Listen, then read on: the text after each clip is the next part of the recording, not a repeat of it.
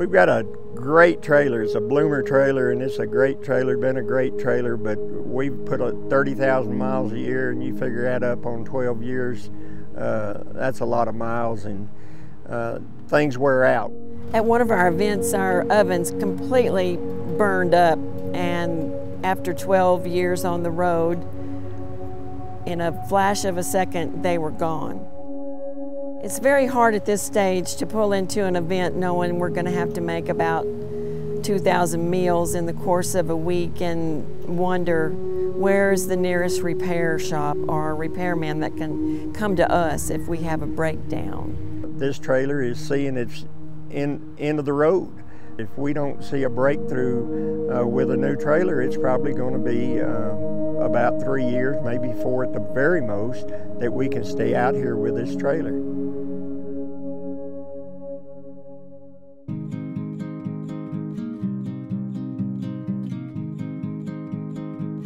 A success for us is to see a life change.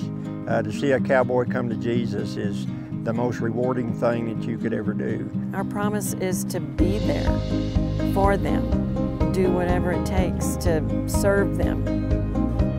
They are the most genuine people I have probably ever met. Um, there's not a day that I've seen them where they, they just don't have a big smile on their face and they're just wanting to help people and serve serve people and serve the Lord. And Chef Lynn and Preacher Ted are the first two that I hug when I get here. I don't know of any other ministry in the Western lifestyle that has a greater impact on the cowboy nation than this ministry. Ted and Linda is my favorite people to come see at the rodeos. They make you feel right at home. It's just like like seeing my parents out here on the road. Um, we've grown to become like family, and it's it's awesome to be able to see mom and dad out here on the road.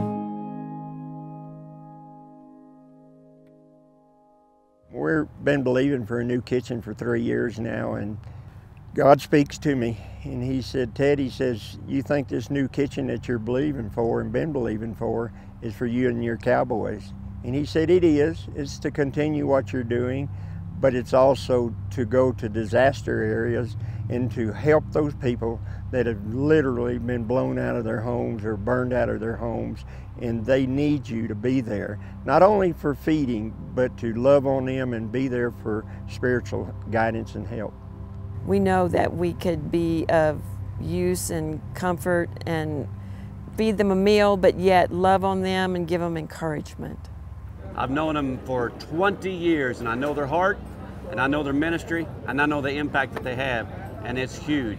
And uh, I just encourage anybody that's watching this to, to jump on board and be a part of something that will not only bless them, the people they reach, but it'll bless you for being a part of it.